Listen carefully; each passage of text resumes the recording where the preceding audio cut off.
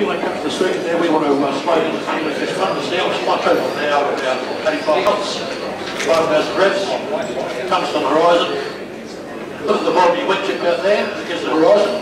Down the surface is roughly parallel to the horizon. You should idea if it's a bit low. Mr. Geo Collins. Now, so by slow down. It's the right. What do here now is I'll back to say 3 eh?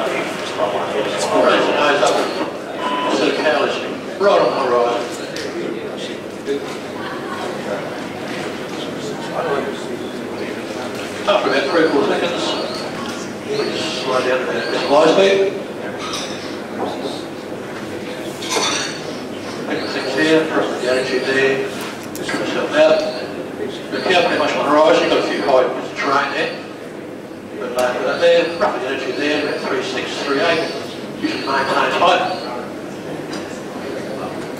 What you guys are doing the circuit, if anyone jumps in front of me, want to slow down, you can do it. Reason why You want to do it? Yep, nice control. Circuit there. Yep. And uh, if you want to do uh, 90 knots, it'll be about 5.2. So what's that primary speed control? Attitude. Good. Power controls height. Okay, well, I think we sort of had that discussion a moment, but did we, go, uh, come on for a moment. Come on. Both my, get my feet on those rudders.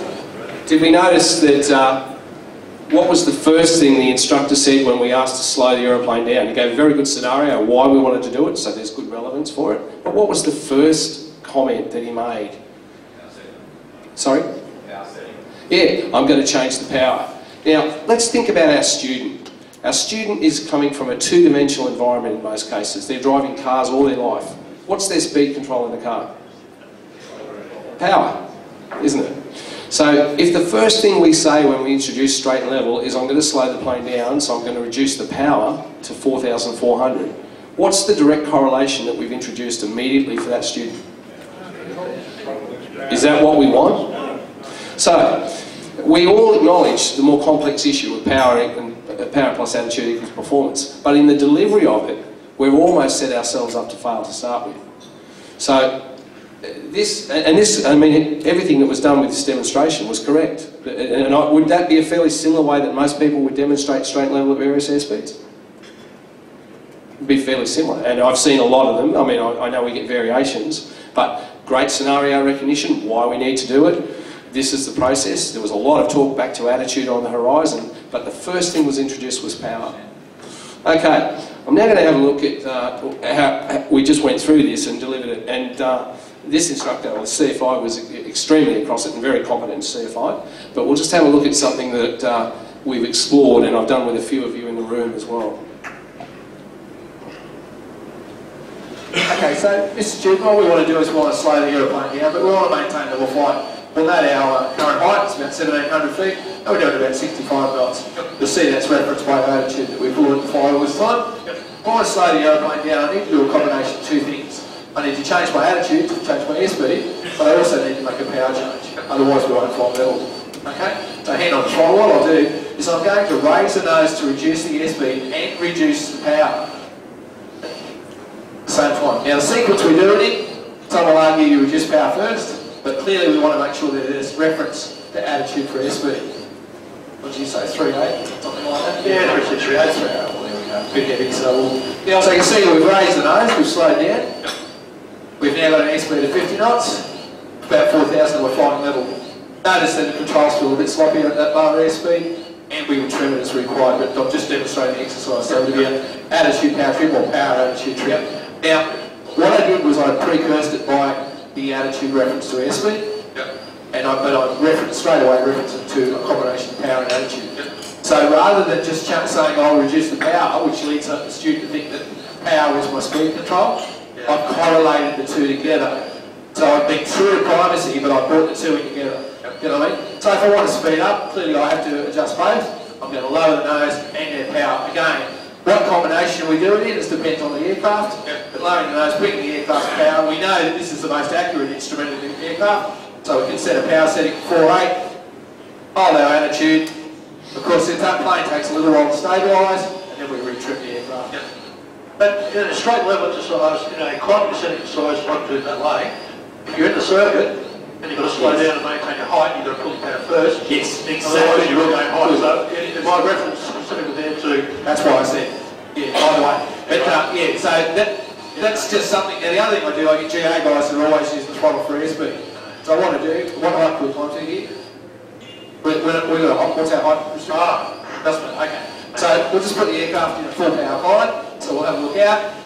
So power, attitude, trim, balancing with rudder. So here we are in climb, we're climbing at 65 knots. Using the throttle, how do we adjust the airspeed of the aeroplane? well, you keep your attitude there, No, this is using the throttle. ah, well, can't get on that. Okay, good. So we can't use the throttle to change your airspeed a climbing configuration. All right, we're now going to put the aircraft into a light descent. Attitude, power, trim, RBD, we should go. Get the one, that's it. So now using the throttle, I want you to use the throttle to slow the aeroplane down. Can we do that? So at a glide or a climb, we can't use the throttle to control the airspeed. But in either scenario, we can use the attitude of the aeroplane to have a direct, if not lagged, effect on the airspeed. Pitching up causes us to slow down, lowering the nose causes us to speed up.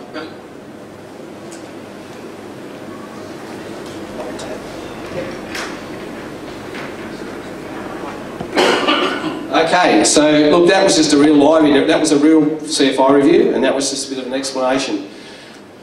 I found it's useful. Who, who, who thinks that the, the, the extent uh, demonstration of showing a, climb or descent reinforces that attitude is our airspeed control? Good.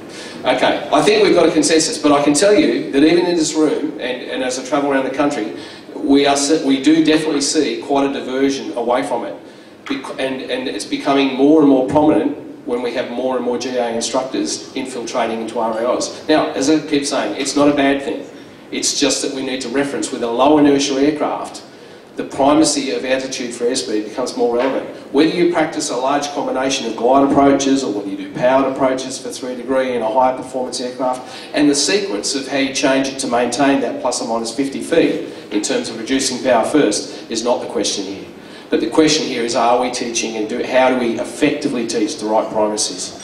Now this is lesson what? Two or three if we've done a trial flight.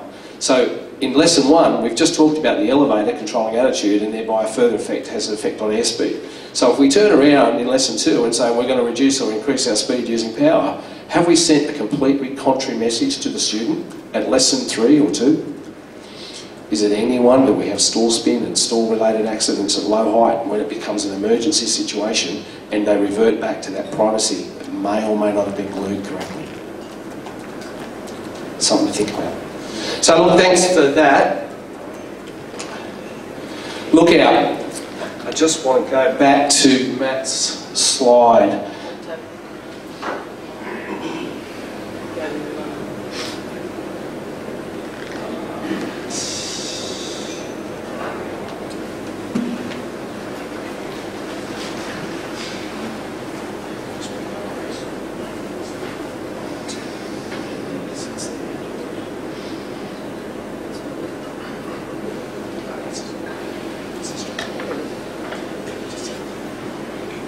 in through the, the uh, gate uh, 13, I believe it is, with too great an angle to the chicane, and then I broke one of my own rules. I actually looked into the turn, which means I don't fly the aircraft naturally. I pull on it. Um, I've G-stalled the aircraft. Uh, Great.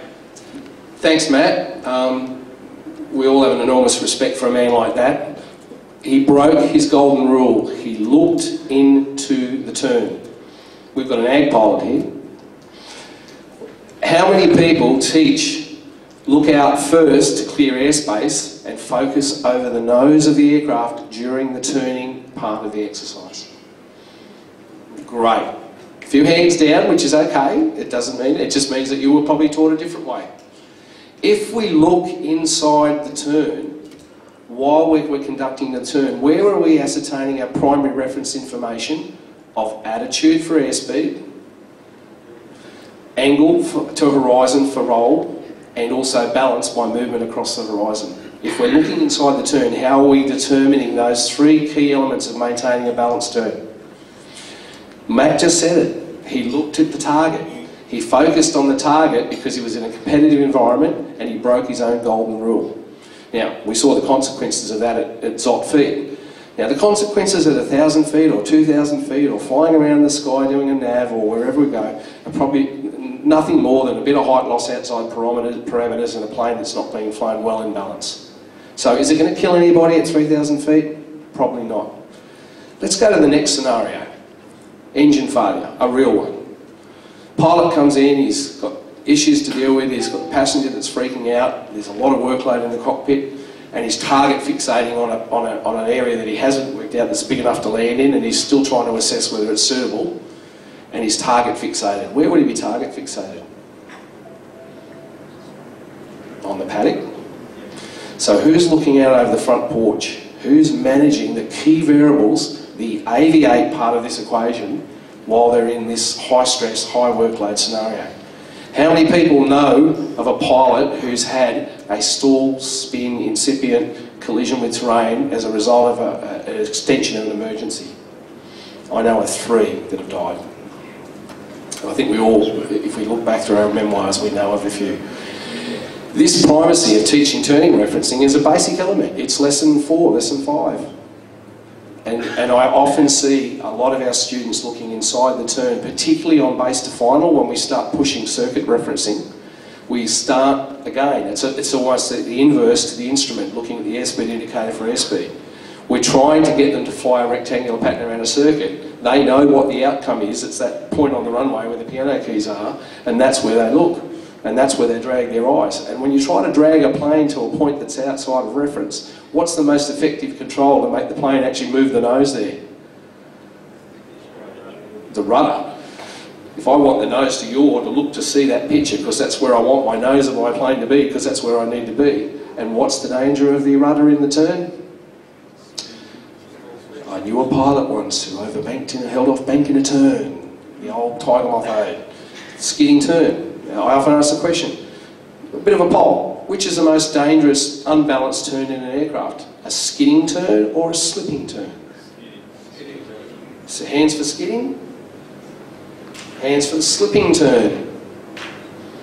People that only ever fly in balance. So we, just think about which is the most dangerous turn. Has anyone seen the Turn Smart? Has anyone ever seen that video? We're going to try and get permission to load that up. It's a public video. You can go and have a look at it. Go and have a look at Turn Smart. If you haven't seen it, I've talked to it with a number of CFIs on, on visits. Turn Smart video. I won't answer that question. I'll leave that one to you guys to go and have a look at it. Um, the top rudder turn is an important tool, and any ag pilot will tell you about top rudder turning and procedural turning and keyway turns and why they do them the way they do. But to have a look at it,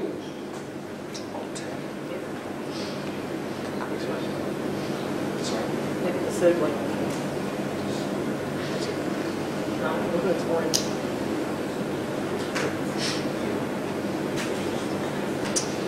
Uh, the other one, uh, I had one the other day. Um, what's our primary reference for balance? Talking about turns. What's your primary reference for balance? Any thoughts? So the balance ball. Any more, Doug? Okay, We'll get a microphone. Sorry, Doug.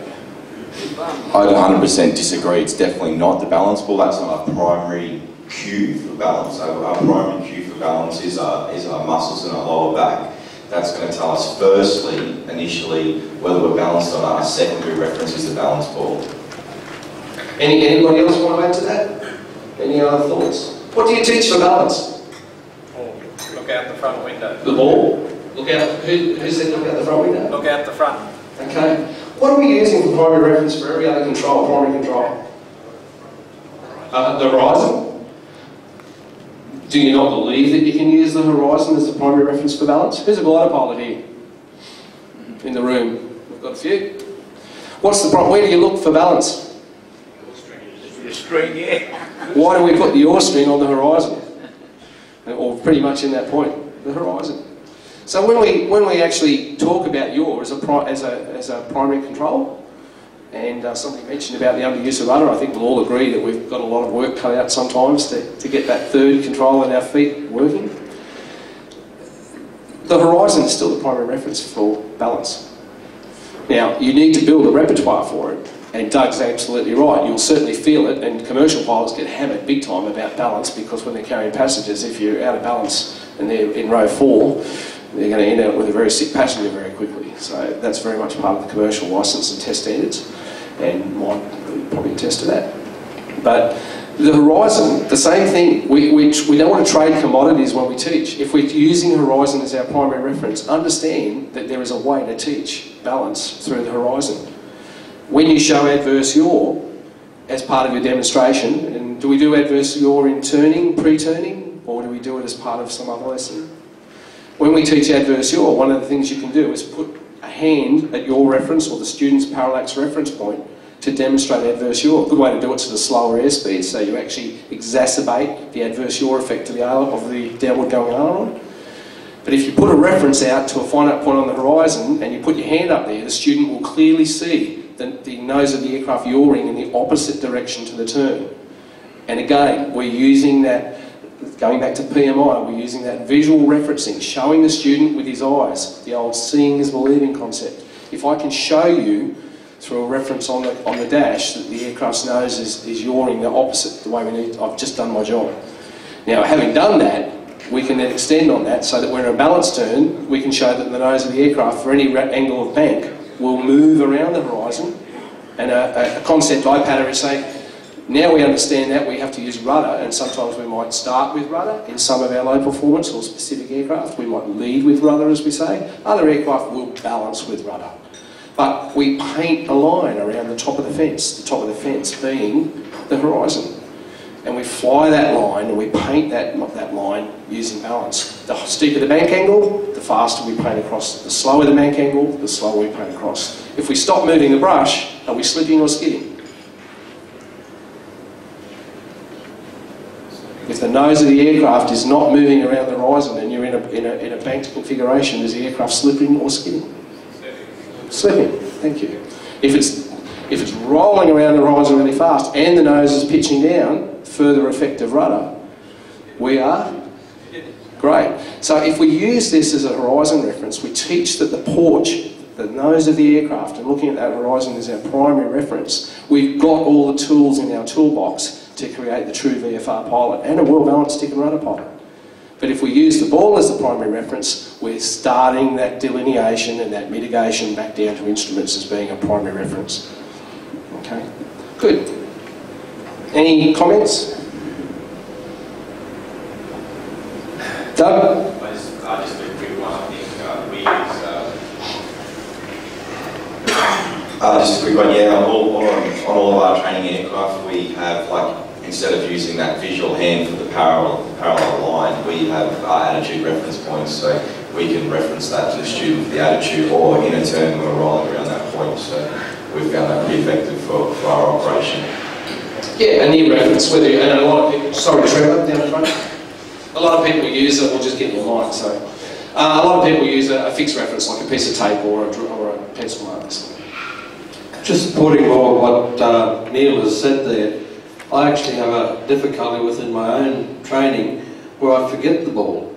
And I'll be well into a student's flying and such like, and I say to them, oh, your ball's out a little bit, fix it up. And I realise, I've forgotten all about teaching them the ball because I've been teaching them the outside reference, looking at the speed of the horizon around the sky, the nose reference points, and uh, because they do it so well, I forget that little component of the ball. So I'd reinforce what you're saying there very strongly. What you're saying, I guess, is it works so well that you don't even need the instrument. there you go. John. Yeah, whilst, whilst I don't disagree, I think everyone's got a different way of teaching, but you said yourself you started your career as a glider pilot. When you were a glider pilot, what did you use as your primary turn and balance reference? The nose of the aircraft. And the string just happens to be And the string. And let's face it, all you're doing that ball is that string. And the problem with the string is it works opposite to the ball. Um, uh, exactly, it does, but you learn that as a glider. And I must say, gliding, I still believe that gliding's a lot to teach us. And, but at that early stage, we already know the difficulty we have getting students to even recognise the horizon attitude you try and start bringing in that turn slip at that early stage, and I think you've lost. I agree.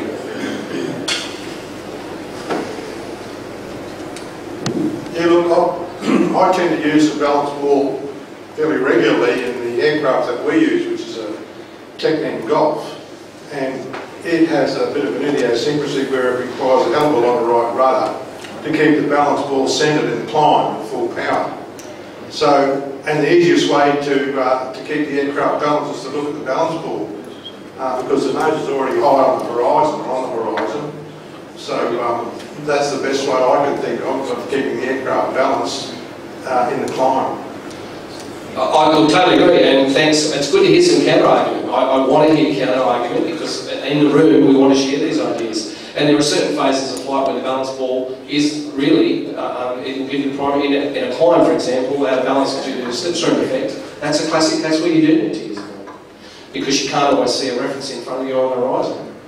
So uh, runway alignment, much seeing, I see my airfield, I watch, it's a very busy training airfield, and I watch aircraft constantly taking off. And I look at aircraft climbing out on runway heading. Well, you'd like to think they're on runway heading, but even if, without a crosswind, I see aircraft darting off, you know, 200 metres left, and they're training operations. That aeroplane is just flying in, doing circuit after circuit, and probably 50 metres, 200 metres off to the left of the runway. So uh, that's the case. Yeah. Sorry, Andy. I go along with what John says. You try to teach him something, it takes you years to develop. If you just look at the ball, you can see an instant. And eventually you'll start to develop what you're talking about. That feeling, the seat of pants flying. So I think it's a lot easier to teach a student. what, I, I do is you use your arm for, for turning the aeroplane, use your feet for balancing it. Uh, we'll go to Colin. Thank you. Yeah, just we're starting to talk about instructing technique here, I mean, we've all got these little tools we can use. Uh, I agree with what was said earlier, a new student, if you've got a switched on student, you can start introducing skidding and slipping at that early stage. But much better what I use is someone who's not really that switched on, is just push the bloody rudder pedal out of balance and say, can you feel that? Uh, just, just a practical example. So you can use all these tricks, but at the end of the day, you've got to adapt it to each student.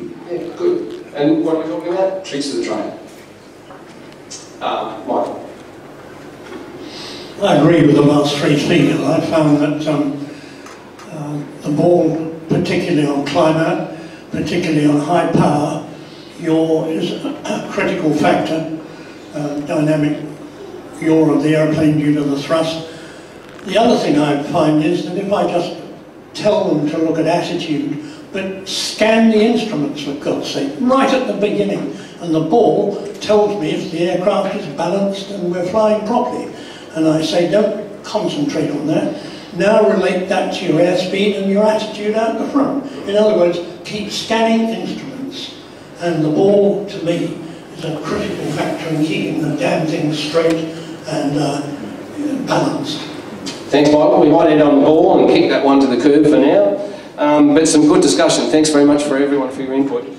Consistency of terms is the next thing I want to talk about. Um, oftentimes we see uh, it's very easy to get comfortable, and we all get comfortable after thousands of hours of instructing, and we develop our own style, which is great, and, and, and style helps flow and creates a good working relationship.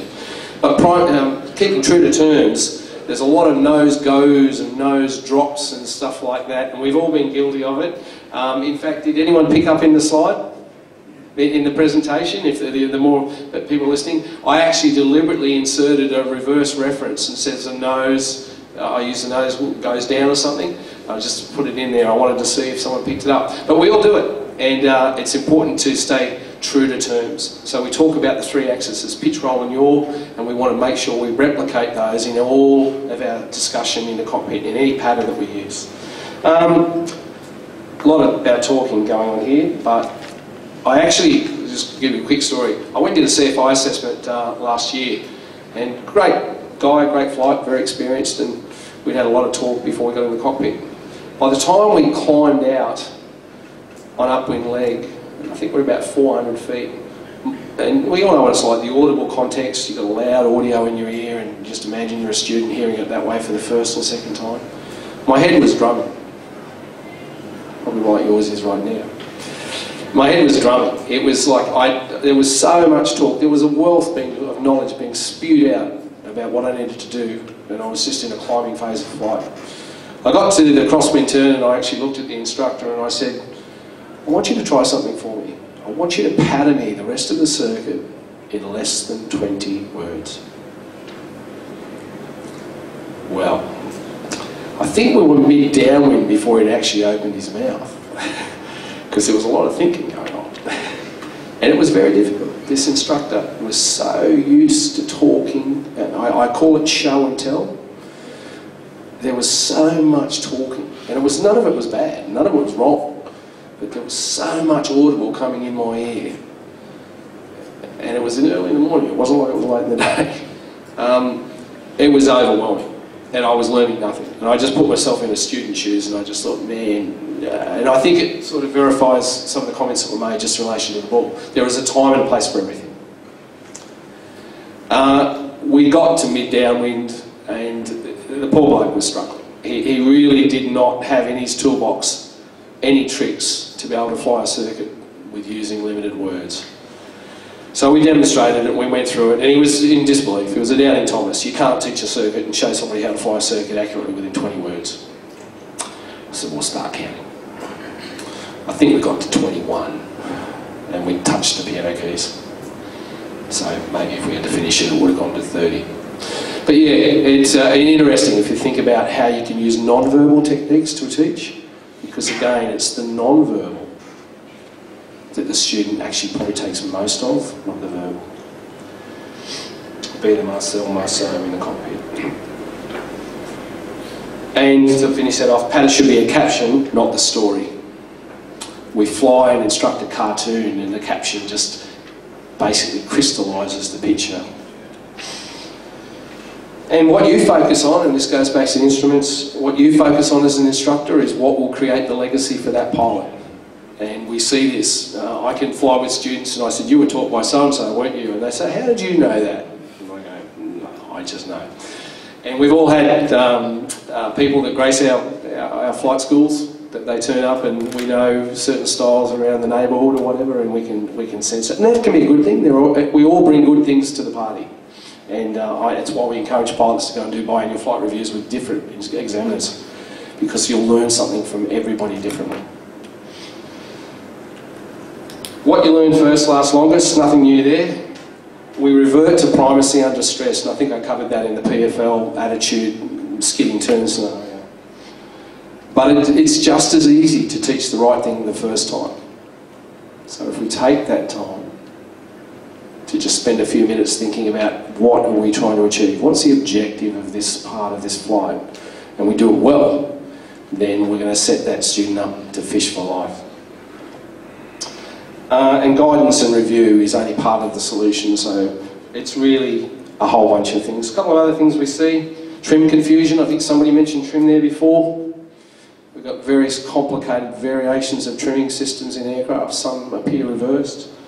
Um, rote learning, I can fly these numbers, I fly to that fence, I fly to that height, I end up here at 500 feet, and if I do this right, I'll be on the runway. The repetition process becomes a, an ingrained habit, and then they go to a different runway, and we all know what happens. Turning parallax error, explaining the high side, low side scenario in the turn so the student understands the correct attitude reference. Again, but when you're going to get them looking at the front, make sure they understand that the front changes when you turn left or right, depending on where you're sitting. Checks and cockpit behaviour. Somebody raised this in discussion at morning tea there's a lot of discussion in the manual that we're writing at the moment. Should we ingrain some basic checks or should we have a standard? And I think the, the general consensus amongst the instructor manual panels, we shouldn't. Everybody's got different uh, check systems that they use and something unique to aircraft. But do we get them to verbalise the check as they fly the check? If it's a, yeah, who verbal is, okay, I want to hear the check, I want to hear you say it, I want to hear that, yeah. Do you get them to say the acronym, like if it's bumpfish? Do you say, okay, I want you to say bumpfish, so anchor it, anchor it to that, that memory, that long-term memory, and now work through the process. So yeah, sometimes with checks, it's not about what you have, what checklist you use. It's CHIF-WAP, CHIF-WA, WAS, you know, whatever you might use in, in any of the checks just make sure that they verbalise and have a good anchoring reference. Um, and that becomes important when you move to different times. Talk to your horse. I think I've just about done that. Power for airspeed we've covered. There we go, there's a photo. Uh, working as a team. Instructors and students need to work together. It's an interactive real relationship. They're learning from you, you're sometimes learning from them. And in fact, if you're not learning more about them than they are from you, then I might suggest that perhaps the, the, the training or the learning process is probably the wrong way around. Because we need to understand that we have to, as it's particularly recreational, we have to teach different styles for different types of students. Um, Bill mentioned the old and the young student, very much different. PMI provides our guidance. Who's read through PMI relationally? Who's been around for 20 years instructing and actually just dropped their head back into a PMI book and had a look at it? I do it every day, unfortunately. I'd encourage you to go back, whatever reference you've used, or, or find a new reference. Um, I'm, I'm, not always one to follow CASA, but I think CASA have got an excellent Appendix D to their CAP 514, which is about PMI. Uh, it will become the reference PMI document uh, information that's to be referenced in our instructor manual. Um, but I would encourage you to go back as instructors and teachers and go back and, and just refresh the concepts of teaching, of questioning on the ground and how we deliver training. Um, I'll just a few more points to wrap up. The instructor is our reference, he's our coach, he's the critic, he's a mentor and an advisor, so you've got a lot of hats to wear. Um, the types of, types of interaction vary with development, so again, I think that was covered and I take Andy and John's comments and Colin back them up, that we, we have to apply certain complex levels of training at different points in the syllabus.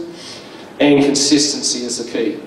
Everything we heard last year was that instructors, our CFIs want to see better consistency across our students. So I think focusing on these areas and sharing these things is the way to go. So better instructors create better pilots. We all must continue to learn, all of us. And our training reference manual will provide some guidance material for that. Just a final quote from Ernest Hemingway. That's it. Any questions?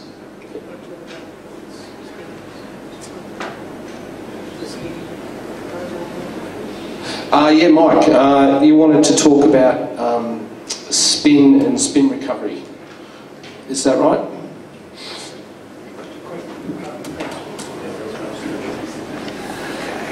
Barry Renford and I have been uh, discussing this for more years than I care to think. Um, and this all came about mainly after I was, I started my flying in 1944 and I was an instructor in 1952 and all through my military and early GA and uh, Warbird and all the other things. Um, I was doing a lot of spin training and things like that and uh, in the gliding world I got four and a half hours, uh, four and a half thousand hours of gliding and competition and we spent a lot of time um, doing spin training. And I was very interested to see how spinning was taught in the, in the uh, gliding world. And we particularly initially were told that the spin recovery, when we got into it, was to put full opposite rudder, uh, to, um, stick fully forward. Um, the rudder was to stop the rotation, and the stick fully forward to unstall the aircraft and then get out of the uh, ensuing dive. I was based at the Naval Fighter Station at Yeovilton and we were very close to um, Boscombe Down, the Empire Test Pilot School. And they came over to us and uh, in 1973 they said, we think that the method of recovery is right, but the reasons that you give are totally wrong. And uh, we taped an aircraft up and uh, this was as a result of a number of accidents in chipmunks, um, where pilots were in fact using three notches of brake for asymmetric braking and for taxiing, going up and doing aerobatics and particularly spinning. And uh, because they had three notches of brake, which effectively reduces, those chipmunk pilots would know, reduces the angle of rudder that you can put on, uh, they were becoming widowmakers fairly quickly. The other thing the chipmunk did was to spin fairly flat if you left it spinning for a long time. And that effectively blanked off the rudder. And that didn't help either, so they put wooden strakes down the back end of the chipmunk, and uh, that tended to not let the chipmunk get into such a flat spin. But what we did, we taped up the wings with tape to see exactly what happened when we were doing spin training and spin recovery. And we put about a thousand tapes across both wings. We took the aircraft up to, uh, these were chipmunks to start with, to 10,000 feet, got into a spin and let it go down, and then we applied the correction.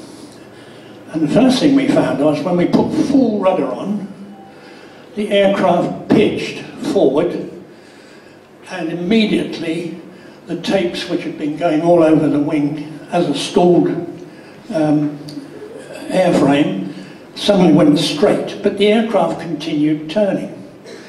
Then we pushed the stick fully forward right to the instrument panel and the rotation stopped.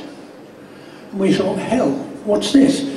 And of course we worked it all out fairly quickly that when the aircraft is actually stalled and spinning, it is a gyro going round and round horizontally, varying occasionally in pitch, up and down. And if you put full opposite rudder against the direction of turn, you're applying a force parallel with the gyro going round. The reaction is at 90 degrees. And we, I mean, it's fairly obvious. The next thing we found was we pitch forward and that unstalled the wing. The next thing was the aircraft was still rotating round, but now unstalled, and of course would be gathering speed. So putting the stick fully forward at the same sort of time as you're putting the rudder on, if you're applying a force now vertically down against the rotation, which the real resultant force is at 90 degrees, and that stopped the rotation. So what we were doing, teaching from that point on, 1973, was to say, okay, the procedure for recovery and spin is very simple. Full opposite rudder will unstall your wing. Full stick forward will stop your rotation and enable you then to pull out of the ensuing dive.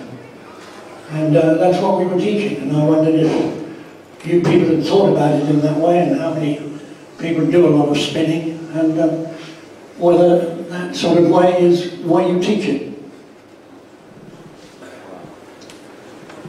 Can I just have a show of hands? Who actually has conducted as an instructor, outside of recreational aviation, of course, spin training or any sort of spin activity?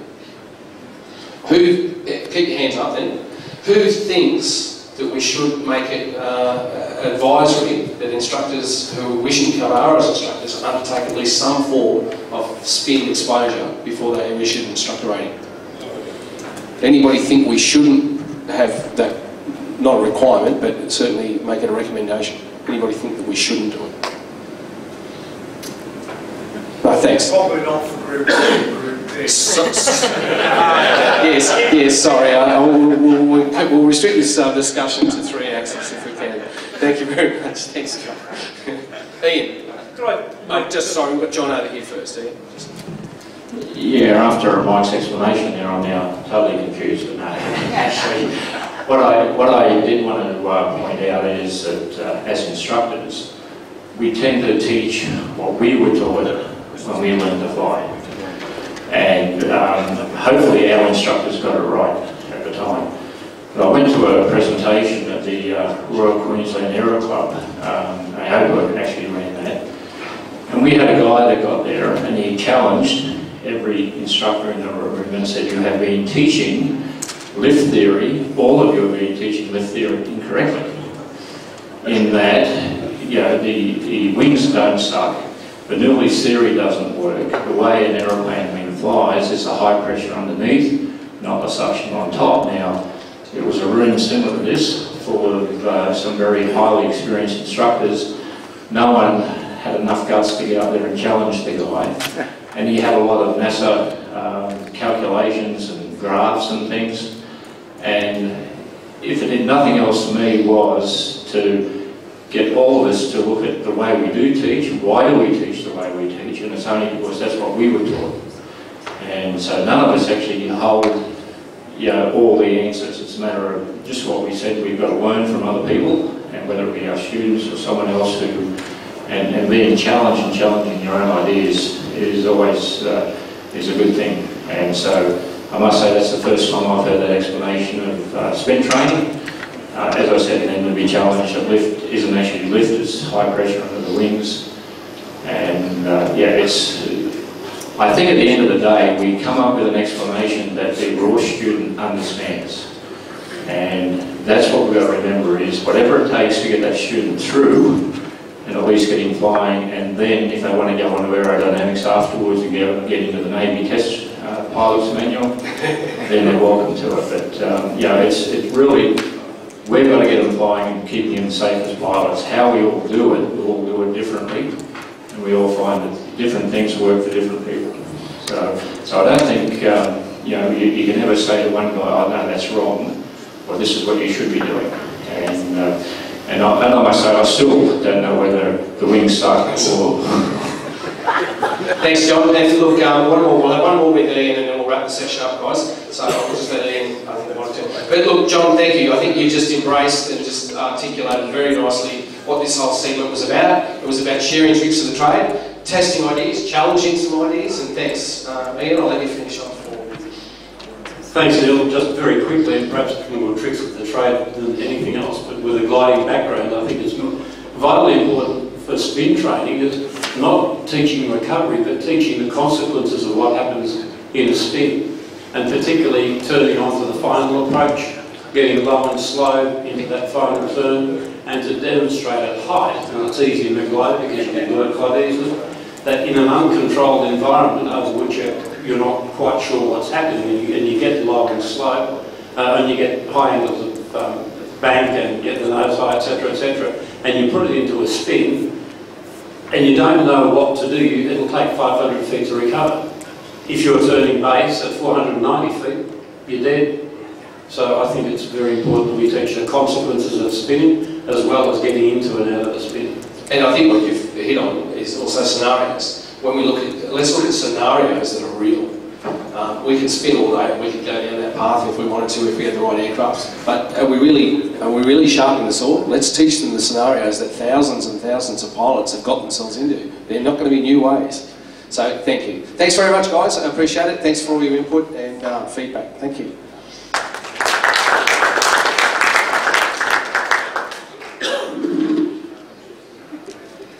I, uh, like to particularly thank Neil for that because it takes a certain amount of determination, belief and strength of will to stand up in front of 60 plus CFIs and talk about that sort of stuff. So, not that you guys are intimidated or anything, but um, it is a possibility for, uh, you know, got to have a certain amount of confidence to do that. Very happy for uh, that Neil did such a good job. Thank him again. He's put a lot of effort into that.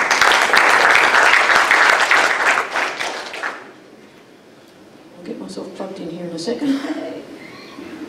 Okay, he stole my thunder, because I was going to talk about that, but we'll talk about that a little bit more. What I want to talk about now is just giving you some response to that feedback that you gave us yesterday, which was really valuable. And again, I'd like to thank Paul McEwen for facilitating that for us and, and Kelvin for being his microphone runner. Um, that was really valuable for us. We've taken that information on board and uh, I'm just going to talk through very briefly about some of that now. We're not going to come up with all the answers now, but we're at least going to have a bit of a discussion about it. So, inflexibility of ops manual issue 7. Yep, absolutely. um, converting applicants' requirements, usability and readability. It's never going to be a perfect document. We're going to continue to work to get that document better. And part of that process is going to be a review consultation process uh, early next year to make amendments to the ops manual. I agree, I want to, I've got a grand vision for a, a plain English document. And I, I think we should be aiming towards that. We don't have to go by the, the legalistic way of, of writing documentation. And I, I'm going to put out a few ideas out there and get some feedback from you guys. So um, be prepared for some of that early next year.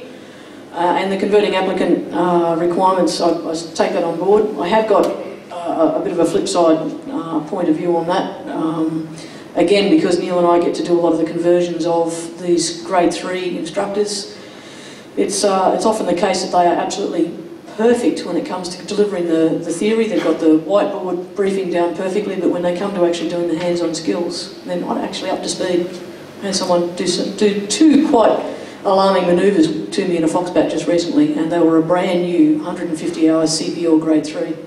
Uh, and they did not handle that aircraft properly. If I'd let it go, they would have damaged the nose wheel. And we're seeing a lot of accidents, nose wheel accidents, mishandling, where the instructor's not catching the aircraft, the student's putting him in a position that they, they shouldn't be, be allowed to do. So we'll have a, a, bit more of a robust discussion about that. Take your point.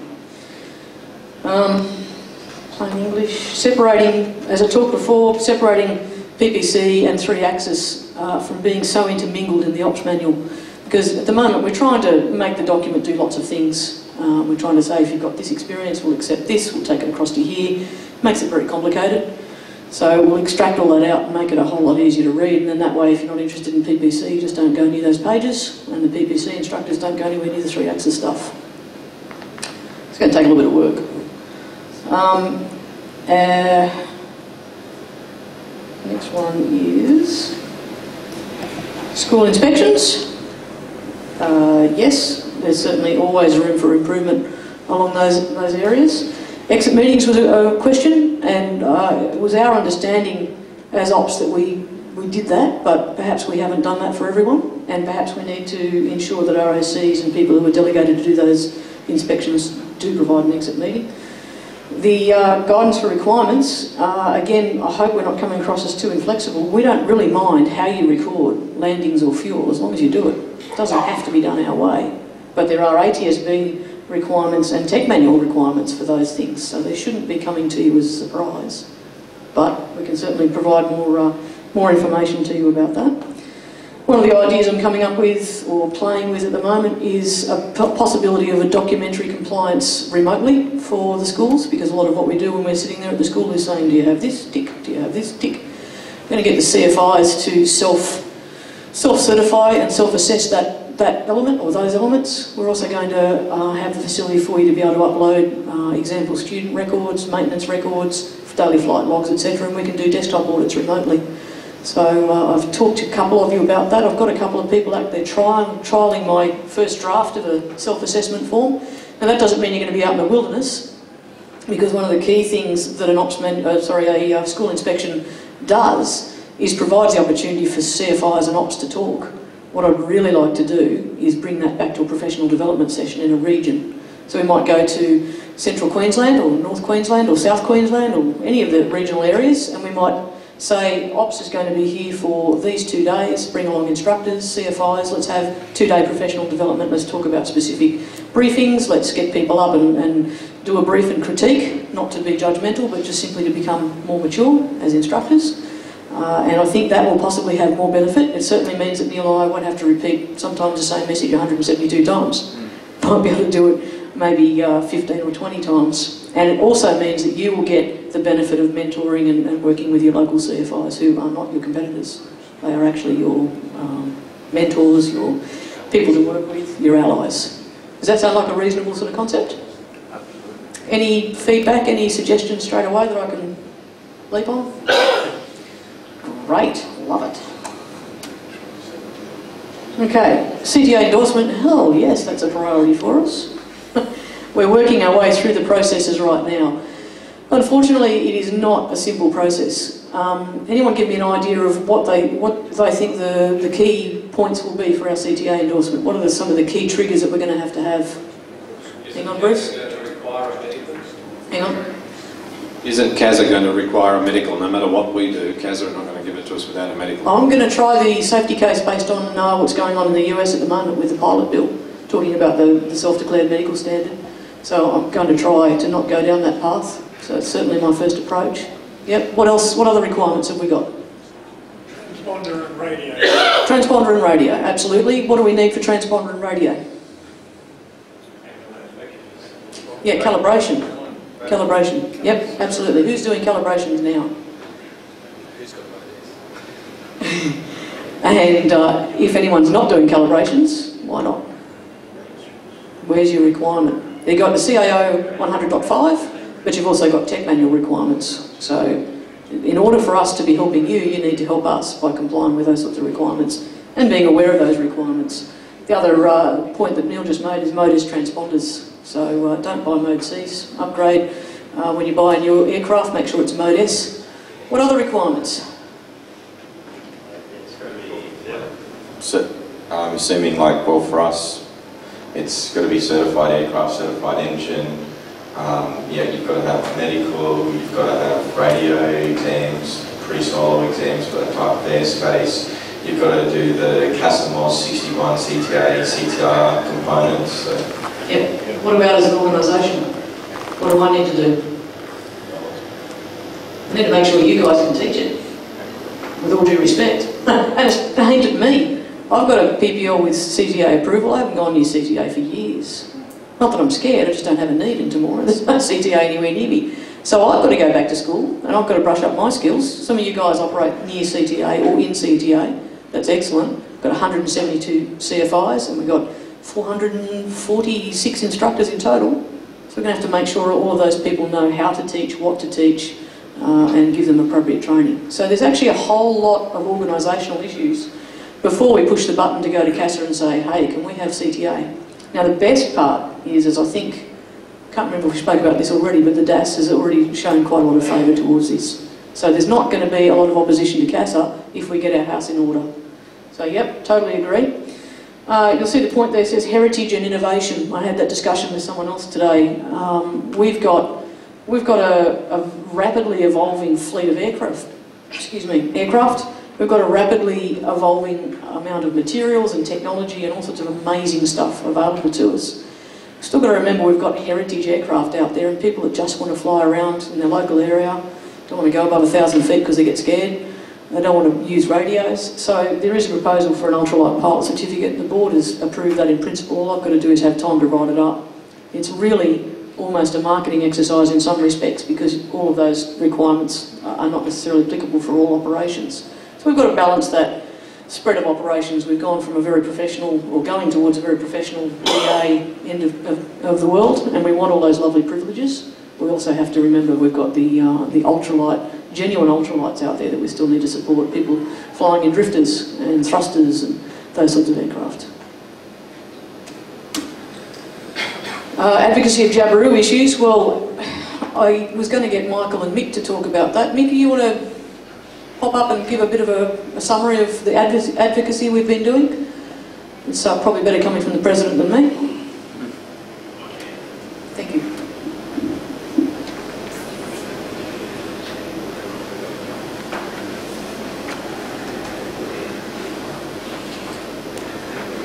Uh, look, I've been put on the spot here, Sorry. thanks Phil. No. I- I've got nothing prepared, but what I will say is um, just a, a brief recap of history. Late last year, uh, Michael and I found ourselves put on the spot with a, a CASA instrument dumped in our lap, and we were actually on a flight from uh, Sydney back to Canberra. We were just as caught out as you guys, and uh, I think a lot of you guys would have been at the CFI conference that preceded that coming out. And, uh, and, and quite frankly, we were, we were appalled at the, the way that CASA handled that. Uh, we made very strong noises, uh, more so about the way that the issue was handled rather than the, uh, the action that was taken. I'll leave it up to you guys to judge whether that action was, uh, was appropriate or not. But we've worked very closely with CASA since then, and, uh, and to CASA's credit, they've been very, very consultative uh, over the, the, the following months. They've involved us, they've involved AOPA, they've involved the SAAA, uh, and a bunch of other stakeholders. Uh, Jill spent quite a considerable amount of time um, putting up some uh, alternative restrictions uh, that we thought would be more appropriate for our operators. And, uh, and over time, uh, some conditions have been slightly relaxed, although perhaps not as much as we'd all like them to. Um, but, um, but we have made some progress there. In terms of the, the engineering difficulties, RAAus does not have uh, the time, the money, the people, the resources, uh, or anything of the like to dedicate towards that. Um, so unfortunately, that, that's an issue where Jabiru has to satisfy CASA that they've made the appropriate steps in the right direction um, before that's lifted. But we have been notified that uh, Jabiru's made significant progress, um, although given that the, the issue is between Jabiru and CASA, we, we don't have a lot of detail there. But, um, but we are hopeful that that, that will be um, lifted or at least relaxed uh, sometime in the near future. We've made numerous uh, suggestions to CASA about how that instrument should apply to us. Um, its relation to, or in, in comparison to experimental aircraft, there are some restrictions in there that are more onerous than, um, than what you might find in an experimental aircraft with, say, a VW or a Subaru engine, and we don't think that's appropriate. Um, but we are working with, with CASA on that issue. Um, I think it's worth saying also, while we're talking about CASA, we've, we've worked very closely with them, uh, certainly since I've, I've taken on my role uh, on the board. And, uh, and we've strengthened our ties, and, and, we've worked very closely since Mark Skidmore has come in, and I'm sure you've already his, his 10-point philosophy, uh, which he's recently released. I think it's only in the, the last few weeks, maybe two months. But um, I, I strongly believe that, that CASA is going through a change. I think it's a positive change. Um, I think the proof is in the pudding. We're, we're yet to really see the results, but, uh, but I, I think internally there, there are uh, definitely some changes on the way, and I hope that uh, really changes the way that, that issues like the Jabiru issue are dealt with in future. But look, in, in short, uh, we've, we've spoken to Jabiru, we've spoken to CASA, we've spoken to many affected parties and, and other organisations, and, uh, and we do think Jabiru are making some progress to, to having those restrictions lifted by addressing some of the underlying engineering issues. Is there any questions? Yeah, we've got one over here. Yeah, hi Mike. Uh, I mean, I fly a couple of Jabirus at my school, so I'm, I'm very happy to accept whatever's come out here. If we've got problems with the planes, we sort it. Um, and I'm very, I've always had some concerns, and I won't air those here, but um, one of the things I'd like to ask you, given that I was told uh, that out of two-thirds of the RAA schools have got Jabiru planes in them, I feel there was a real practical contingency for the RAA because let's just run a scenario that Jabiru get grounded. In effect, you may be pretty much grounding a lot of the RAA. So I would like to sort of hear your response to that or if you even thought along those lines. Yeah, look, I'd like to broaden it beyond that. Um, to me, the S in CASA stands for safety. Um, and and some of the measures that they put in place, I, I don't see the direct link between the measure and the, and the safety outcome. In this case, one of my original concerns was uh, not, not so much around that issue that you've just outlined, although that was a very... You've got to accept that they've really, I don't want to sort of go that they've made a ruling. I think we need to accept that they made a ruling because in the past, when I was in the RAA earlier, all you, you often read in the magazines that they're arguing with CASA. Let's forget that. The real issue is there's an issue there with the planes of Jabiru. They've responded, I accept that. Uh, and I think we just, for our future in the RAA, we need to look at that practical contingency that hangs over our head. For a lot of years I did a lot of strategic consulting overseas and if I was advising the RAA, you know, as a consultant, I'd say you've got a, an, an issue there that you need to look at. Yeah, yeah. Um, and, and for the future, the RAA. We've, we've spoken with Jabiru about those issues and, and we've actually um, you know, tried to work with them to address some of those issues and, and help get the word out uh, how to prevent these issues arising with the, the, pilots in the future. But what I was going to say before was, to me, one of the issues is uh, if Jabiru suffers to the point that they fail, where does that leave pilots and operators of their aircraft then? Um, so, sorry? where does that leave RAA? Yeah, exactly. So it's certainly a, an issue that we're aware of. My question is to you as a CEO. You know, uh, for the, I just want to correct on that. You, the president and the CEO, it doesn't matter. Uh, I think you get the drift. My question to you is what has the RAA done, done uh, to ensure its future and, that, that, it will be viable if that does happen? Well, look, I, I think we, we have to keep in mind that this, uh, around about 3,500 aircraft in the fleet, and while it is a substantial number, um, it's it's still only one third, and we've got to respect the, the interests of, of those other members. There's, there's two thirds of our members that aren't affected by this. Um, so it, it will hurt, there's no kidding. It, it will hurt if, if Jabiru were to fail. Um, that said, we've got other aircraft where the, the manufacturer no longer exists and we have found ways around. I think that's one of the wonderful things about our sector of aviation is that we are creative, we are innovative. Um, it will definitely hurt the, the flying training sector, of course, um, but I think as an organisation we, we would still be here tomorrow. But I take your point, it would definitely hurt us. I think there was another question up the back somewhere just before. No, but Ed, Ed Smith. Yeah. Just up front. I thought I saw a hand in the back. But... Yeah. yeah. I mean, one, one solution that would probably work with the, uh, the Jabiru fleet would be for the RAA to um, seek um, advice from uh, the suitably qualified people to see whether or not alternative engines could in fact be fitted to Jabiru aircraft if we wind up with a, legacy fleet of Jabirus and no engine manufacturer. I mean, that would be an obvious solution. There are Jabirus out there that do in fact have Rotax engines in them that have been signed off by the appropriate authority. Um, there are those sorts of solutions available if the worst comes to the worst. I would hope. We've done it with polypropellers on Skyfoxes and things where you can't get the, the original wooden propeller anymore. I think an obvious backup position is to, to see if we can find an agreement to allow um, an alternative motor to be fitted in the, in the, in the aircraft concerned. Yeah, look, I mean, there's.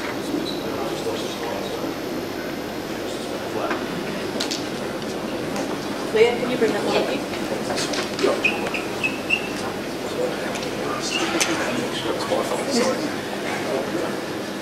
Um, there's, there's definitely alternative engines out there, the obvious one being CAMit. The, the problem we face here is, uh, you mentioned the polyprop and the, um, the, the issue with getting the, the original replacement um, that's no longer manufactured. And in fact, the aircraft manufacturer no longer exists in that case as well.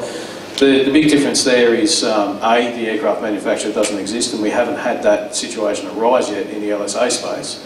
But B, uh, they weren't LSA aircraft and the rules, um, which are outside of the control of RAAus, except to the extent that we advocate and lobby, um, but the rules state that the only person who can approve uh, a, an, a modification to those aircraft are the LSA manufacturer. Now, if Jabiru were to fold, and, and I sincerely hope they don't, um, I think we would definitely find ourselves in a situation where we would look at uh, talking to CASA and, and making some sort of process like that available. But as the rules stand today, uh, the vast majority of those Jabirus that are out there are LSA, and, and we have no alternative but to, um, to have their engines in them. Type certified and experimental, sure, there's avenues, but neither of those, uh, actually type certified can be used in training, but the experimental can't. So that's not going to solve the problem brought up before about flying schools. Is there anything else? Give it back to you. Sorry for putting you on the spot. Okay. Uh, there was another point brought up by another CFI about uh, slight onerous requirement, not slight, onerous requirement for uh, the student having to be deemed competent in emergencies prior to being sent solo. So I've taken that note as an action item for when we talk to CASA next about the instrument. Yep, the critical need for insurance for instructors, L2s and schools. I think I'll put the uh, CEO on the spot for this one. Michael?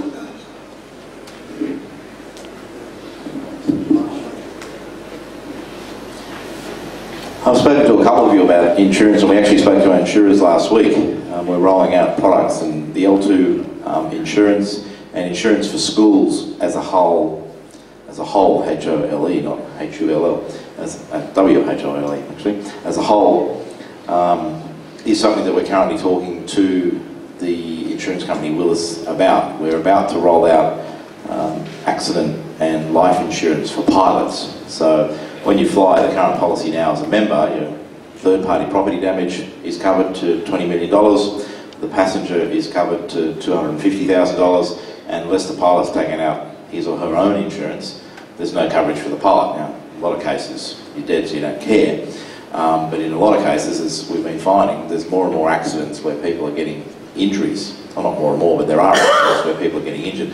So we wanted to get some coverage for pilots. Um, that's going to roll out in the next couple of months. And then the, the products after that are the L2 coverage, professional indemnity insurance for L2s. Um, and then we're looking at overarching school insurance. Um, then you come to the question of cost. Who should pay that? If we insure 170 schools and it costs 200 grand a year, RAAus is not going to have the funds to pay for that. Um, it's going to be as we do with our members insurance, which is a $400,000 bill a year. That's folded into members' um, registration fees, annual membership fees.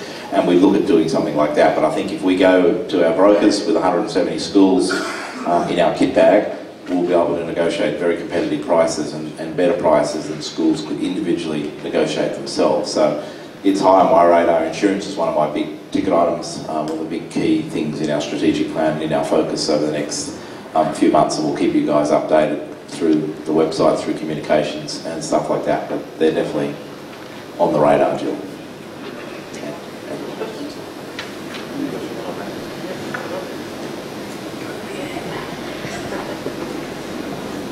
Just with regard to the schools, Michael, are you going to um, allow for consultation with all of us, the schools, before you, you come to us possibly and say, you're paying, you go and negotiate? Yes.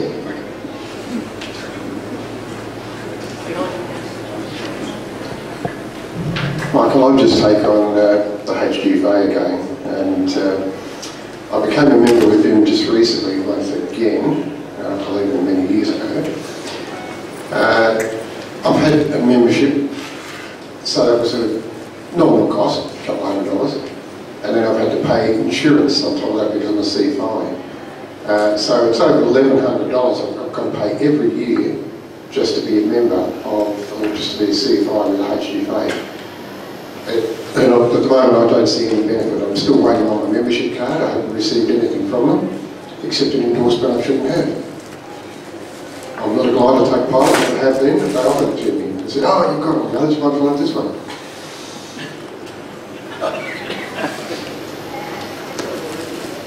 Yeah, it's um, I'll get the HGFA on the phone. Um, I can't answer that for you. Um, we're hoping the insurance might be $1,100. I have no idea what the cost is going to be. It's not even a conversation I've had with the insurers um, at this stage. But as Kelvin said, it's about negotiating and coming to you guys. What do you want? What, what in the basket of insurance products, what do you guys want? Where, where do you need coverage? What's the type of coverage? What's it look like um, to you? And that's a conversation for us to have over the next few months.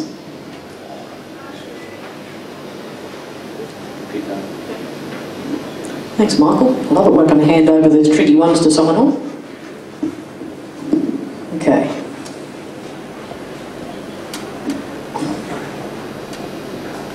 Okay, online membership applications is done. Jared's going to talk about that. Glad we're on accord, in accord with that one. Um, no net differences between RPL and RAAus privileges? Yes, absolutely, that's what we're pursuing. Um, increase in max takeoff weight, CTA, there's a number of proposals there which are intended to make sure there's a parallel path and the, and the director again said he's very keen on having the clear parallel path between RAAus and, and CASA. So we're on the same page there. Uh, survey well. One of the things that you guys came up with, uh, which was really good information for us, is the uh, number of schools here in the room who uh, rely on the, school as the sole source of their income. So one of the things I'm sure Michael will be looking at uh, in the next few months will be some survey, surveying of, of owners of schools and CFIs. So when you see that survey come out, please participate because the fuller the information we get, the better understanding we have of what the school's about. That'll include questions about ownership, structure, income, and other things that Michael wants to talk about. No? Uh, and Michael's going to talk a whole lot more about that in his marketing presentation tomorrow. So again, we're in accord. Uh, responsibility for airworthiness was a really interesting one, and it wasn't something that had crossed my radar particularly, but uh, at discussions with staff last night, even though we said we weren't going to talk business, we did. Um, the tech department and ops need to get together, talk about that. We need to go back to you guys and get some more clarification, but it's certainly a point we've taken as an action item. And the minimum age, no minimum age for candidates, ironically, we were talking about that with the board on Sunday. The direction came from the board previously, quite a few years ago, different iteration of board members, presidents, etc. And uh, it was something that we were given a direction to investigate and remove. So again, we're in accord. And financial viability and anxiety about the future. Well, who's not anxious about the future? What is that stock market doing? Um, but again, Michael will be giving you some strategies tomorrow and he'll be delivering uh, some information to you about that tomorrow. So, do thank you for the feedback and don't believe that we're not committed to the issues. Um, it's not the bad old days where we say, yep, thanks for that, see you later, and don't even think about it. I've got notes written down there. You will see some action on those items. I just can't promise they're all going to get delivered in the next couple of months because we've got lots of competing priorities. We've been running around, as Michael says, at VNE for a little while. We need to throttle back a little bit, get some runs on the board with some other areas, operate at VNO for a while. So I was going to talk a little bit more about um, instructor uh, raising the bar for the instructors, but I think we're getting to lunch, and I think the natives are getting restless. Is that right? Everyone wants a lunch break? All right, let's go for a lunch break, and we'll come back in half an hour, 1.30. Thanks for your time, thanks for your input. See you in half an hour.